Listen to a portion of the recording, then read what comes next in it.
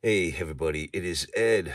I just recently made a video where I had shown a couple of albums that I had recently obtained and uh, including Elvis's 24 Karat hits and a record club pressing from I believe 1976 of Elvis Aloha from Hawaii with the tan labels. And there was something else that I had acquired that for some reason, I forgot to pull out and show. And then I remembered, I was like, oh, that's right. I had this too. So I figured, all right, well, gives me a reason to make a video because I haven't really been making any recently.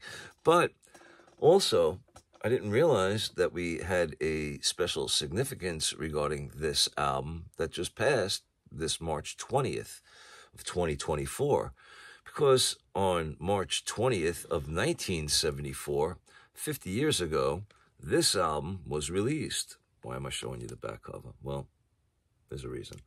All right, and the album is Elvis Good Times with a stellar selection of songs that were recorded in 1973 at Stax Studios and became known as the Stax Sessions. Now, Okay, so what do you mean you just picked this up? Isn't this something that you had? Yeah, it, it is something that I had. However, there's something on here that I did not have, which was this cutout. No, I'm kidding. Turn it around and you can see that there is the second hype sticker that this album received.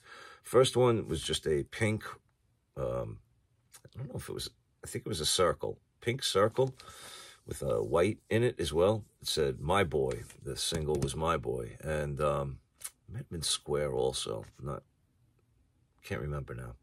Regardless, but this one has the songs "I've Got a Thing About You, Baby" and "Take Good Care of Her," and it says that it contains the smash hits.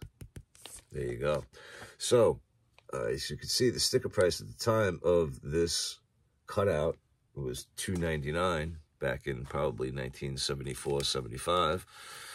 And it has the hype sticker on it. Now, how's the vinyl? Vinyl's in nice shape. Uh, definitely could use a cleaning, but overall looks pretty good.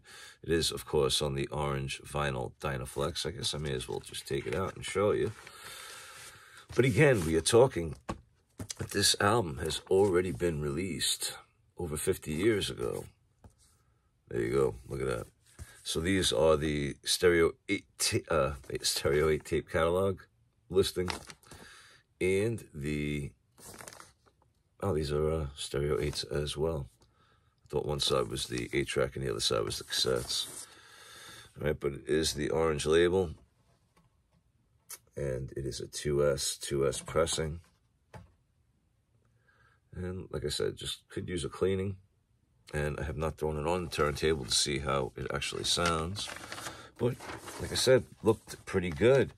And I gotta tell you, the price was right because I paid less than. Are you ready? Are you ready?